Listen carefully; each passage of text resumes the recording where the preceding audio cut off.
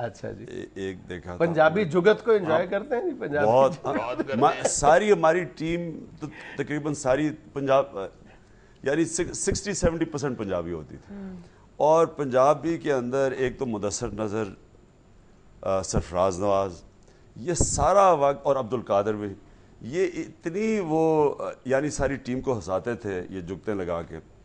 एक होता था हमारा मैनेजर सदीक वो मैं हाँ, मैं मोहम्मद सदीक तबसरा। जो तफसरा मैं मेरा जो उसका आखिरी फ़र्स्ट क्लास मैच था मैं 16 साल मेरा पहला फ़र्स्ट फ़र्स्ट क्लास मैच था।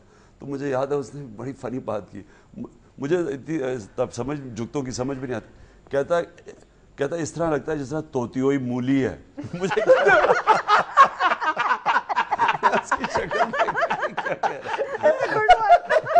तो बड़ा बहुत अच्छे वैसे खान साहब आपने बड़ी ज़िंदा दिली का मुजाहरा किया कि अपने आप को हुई हुई जुगत बता दी है। अब ये लोगों ने इंटरनेट पे फेंक देनी है। इंटरनेट पे कोई नहीं फेंकेगा। फेंकेगा कौन? सारे तो खान साहब के अपने हैं वहाँ पे। खान साहब ये जुगते भी आप माशाल्लाह एंजॉय करते हैं। ये तो कमाल आपकी तबीयत पाई गई है। आप फ़िल्म शिल्म भी देखने जाते थे दोस्तों के साथ? अ, हाँ शुरू में तो शुरू में तो होती सिर्फ़ फ़िल्म देखनी थी तब तो वीसीआर भी नहीं थे। सबसे ज़्यादा जो जो हमारा अ, या कह लें कि छुट्टी के दिन से पहले जो इजाज़त मिलती थी वो फ़िल्म तो हम सारे साइकिलों पर पर ओडियन होता था प्लाजा होता था ये दो असल सिनेमा होते थे और एक रतन होता था। रतन। मैं हमारे बचपन में। तो सबसे बड़ा चीज़ होती थी फ़िल्म देखनी।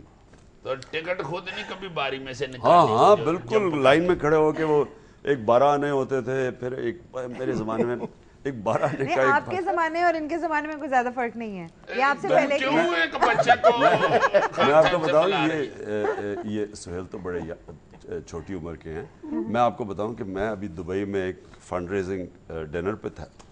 तो एक साहब ने सफ़ेद दाढ़ी सफ़ेद बाल तो मैं उनको बड़ा अदब से बात कर रहा था। उन्होंने कहा इमरान खान पता है मैं तुम्हें जब मैं स्कूल में होता था तो मैं क्रिकेट खेलते देखता था। ये हमारे जो अदाकार है ना जी कवि खान साहब वो इस बात में भी बड़ा चिड़ते है कहता मुझसे डबल उम्र के भी मुझे कह रहे होते हैं आपको बचपन से ही